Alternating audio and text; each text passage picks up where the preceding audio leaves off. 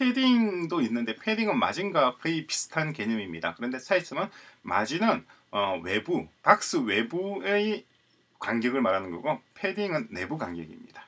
그래서 지금 보면 이 element has a padding of 70 픽셀 돼 있잖아요.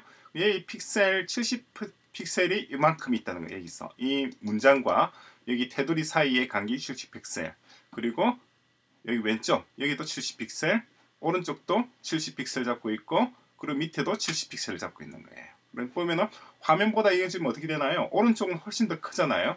클 경우는 어떻게 되죠? 그럴 경우에는 요거 잡고 요거 잡고 요거 잡고 그러니까 top과 left와 bottom을 잡고 나머지는 다 70, 그냥 70에다 묻어가 버리게 되는 거죠. right에다 묻어가게 되죠. 그죠?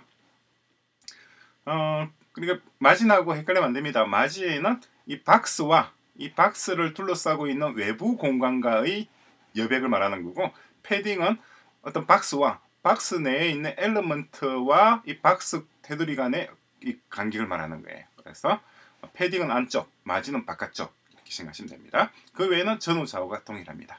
자 연습 문제도 밑에 똑같이 있습니다. 연습 문제 3개 같이 풀어보시기 바랍니다. 똑같이 패딩해서 어, 바텀, 레프트, 라이트, 탑 이렇게 되죠.